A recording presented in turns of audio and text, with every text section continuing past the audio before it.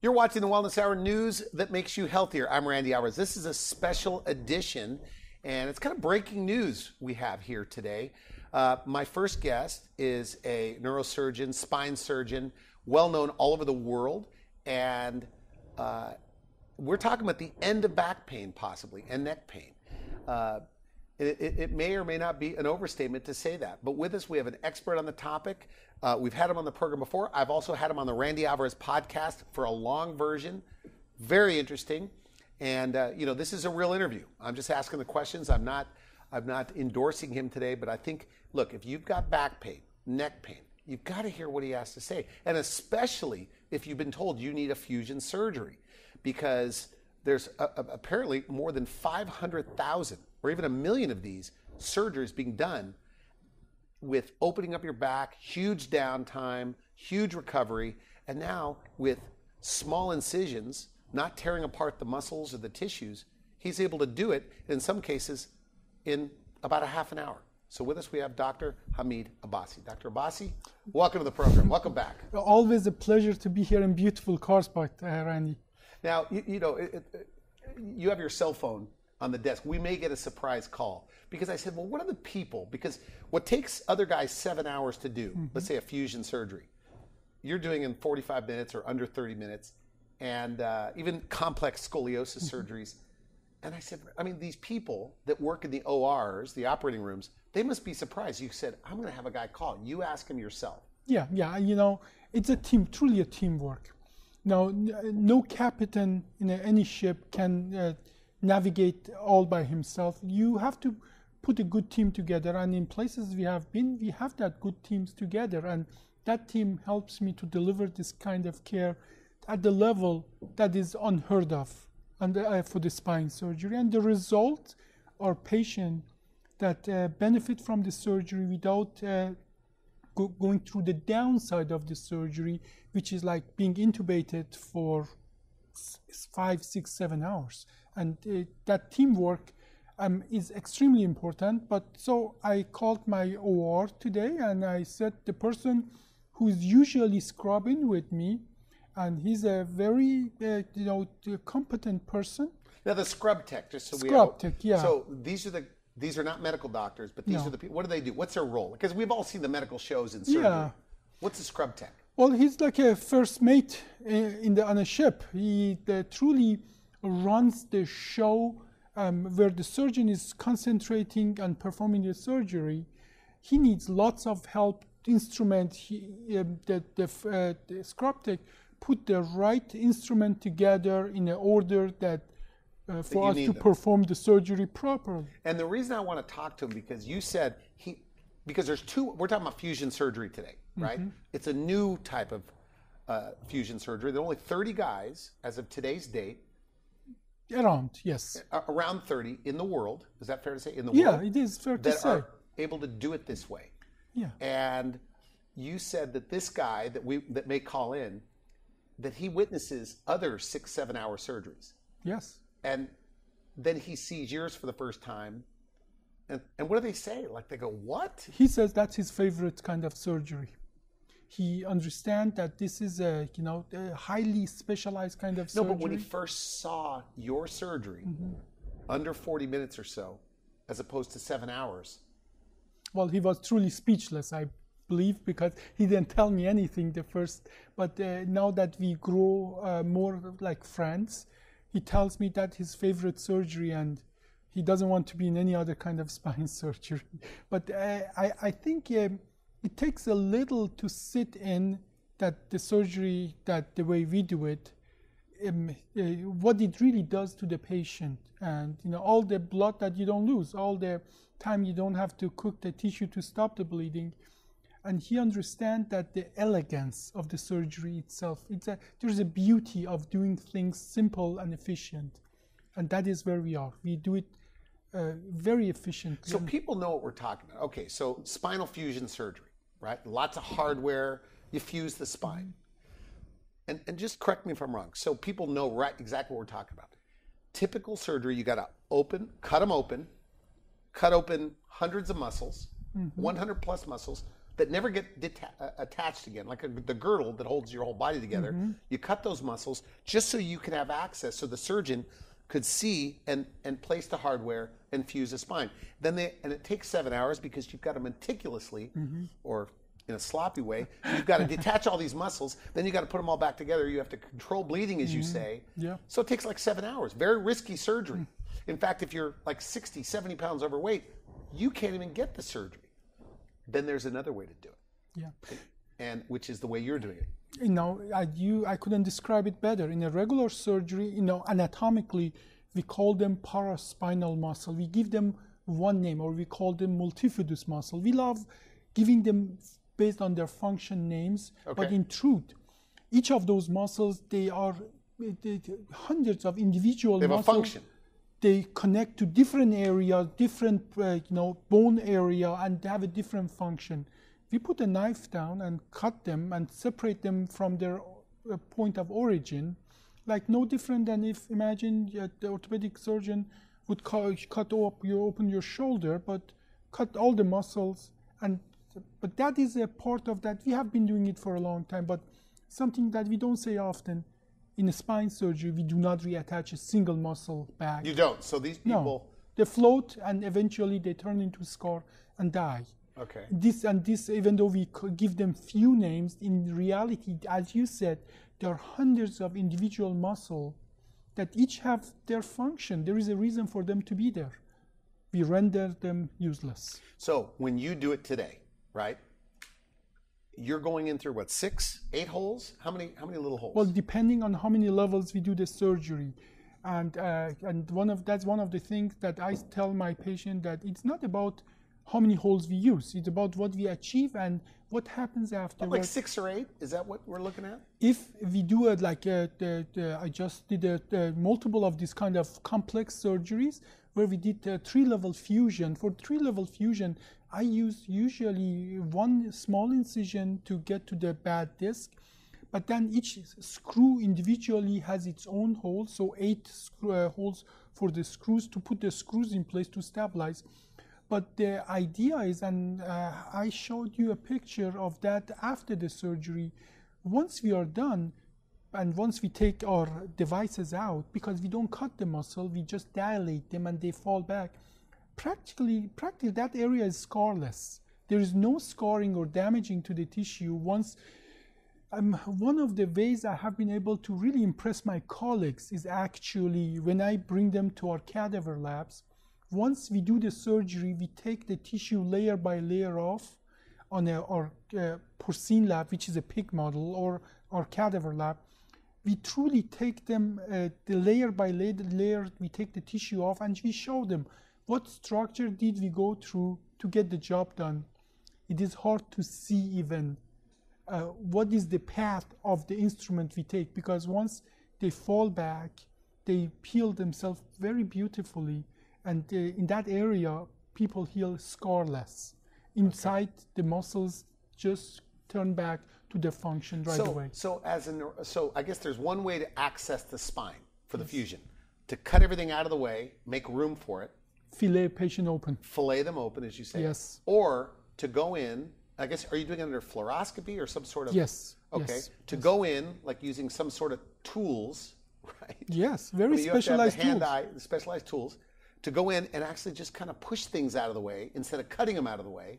Is that, is that kind of you what's just going on? described it what i Well, do you taught me a little bit about it. I want to make sure that I understand it. So you're just so you have a way to just kind of push things out of the way. yes Get done, get in and get out, Yeah. and that's it's it. about instrumentation it's about very specialized instrument that enable you what would be impossible even 10 years ago it's about um, no different than the watch you have in your hand it's magic what that watch does but all what it is is an instrument that designed very specifically at highest level to do certain thing for you like you just told me that that measures the oxygen level yeah, in the your newest blood Apple Watch. Yeah. that would have been the device that we had 10 years ago to do that would have been the, the, the almost filling this table Yeah. and now it is on your wrist so what we are trying to do to uh, take a complex complex task and make it easier based on what the instrument provide to us like um, you drive your uh, automatic car and you don't think about gearing, sure, changing uh, the gear and you know paying attention to at what speed we I used to I used to do that have to pay attention that at the when right you're, uh, speed the clutch, the stick shift. Now, have- now most people drive automatics. we don't do that anymore because the machine, the instrument took care of that for us so we can concentrate on the road. And this is what we have been doing with very specialized instrument, make them so specialized, so much more efficient that It's like automatic. like we make it automatic. So um, and that be making it automatic, it reflects in our efficiency to be able to do this kind of surgeries. Okay. Now we should mention uh, uh, how many how many spine fusion surgeries are done a year? In Approximately. in United States, more than a million spine surgeries are done a year. Half of them, more than 500,000 of them are actually spinal fusions. So 500,000 spinal surgeon surgeries every year. Yes. Okay.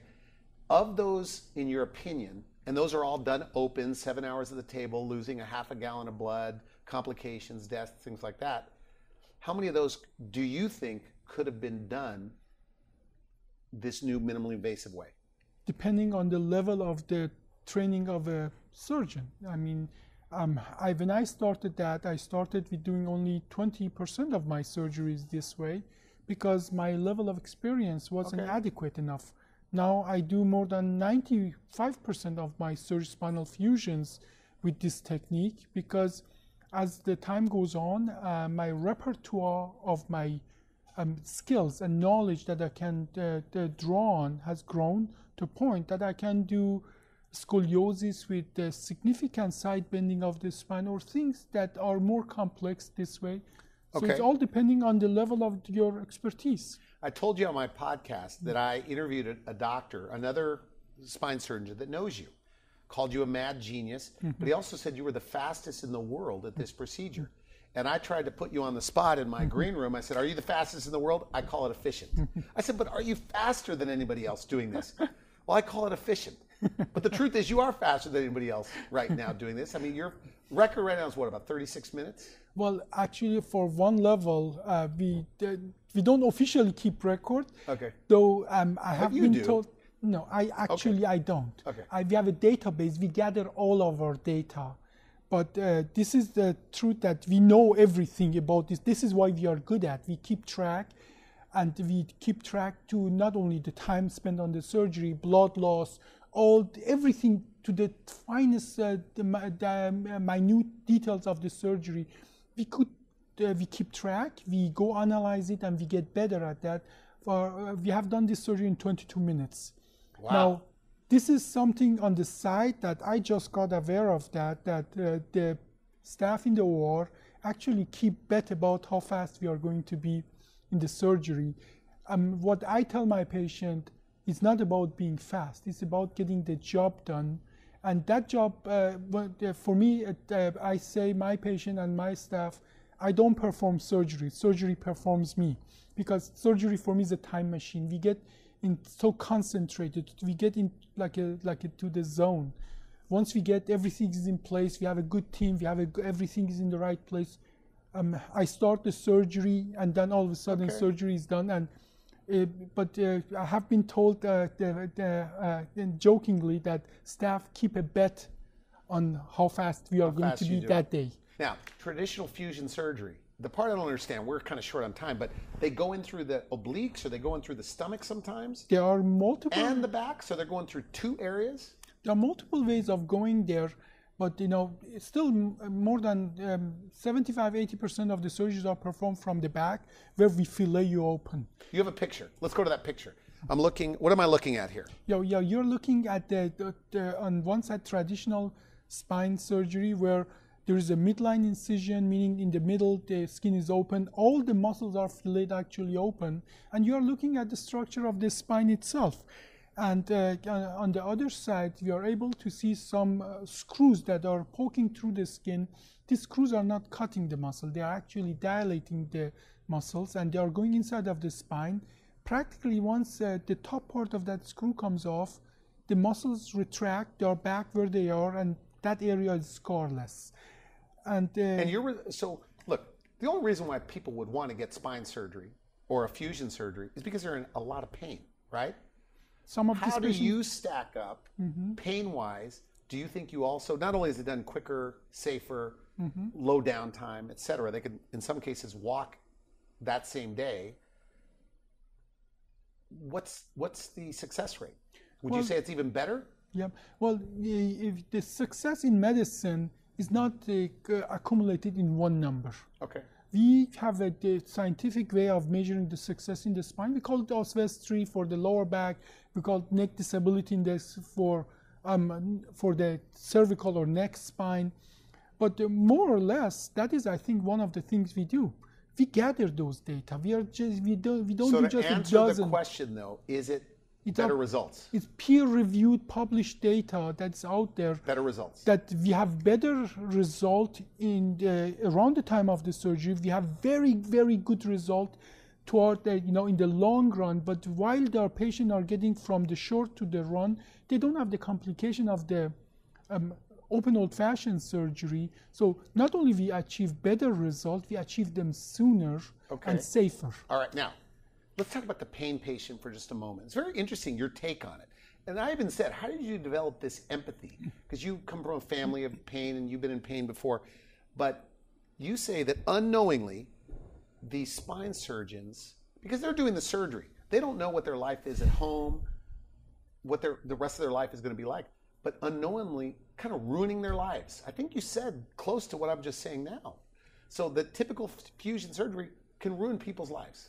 Well, Elaborate on that. Yeah, you know, um, I, we just watched a testimonial together a few minutes ago. A patient that, you know, is uh, a little overweight. Well, uh, and um, its a BMI is 42, and our society is uh, telling us not to do surgery if your BMI above Because he's obese. because it's obese, you have to go through more tissue. You will cause so much damage that in the long run, the risk versus benefit is actually not in patient's favor. And but that patient has gone 30 years. He says it He's in pain for 30 years. for 30 years, and in the last three years, he's in such a pain. He's thinking about uh, ending his life.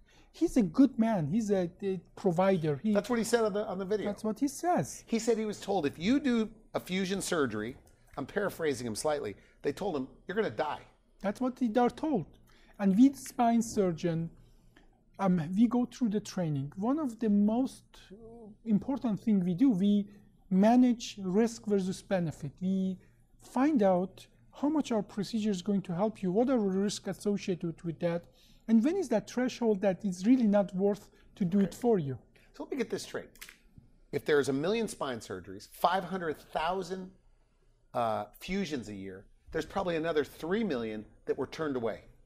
Nothing we can do. Too risky. Because if you're a surgeon, and there's a huge chance there could be major complications, a surgeon doesn't want to touch that patient, right? I'm the person who get those patients. I'm the person that uh, those patients go after. They are told no by uh, five other surgeons that you know then I'm Too risky.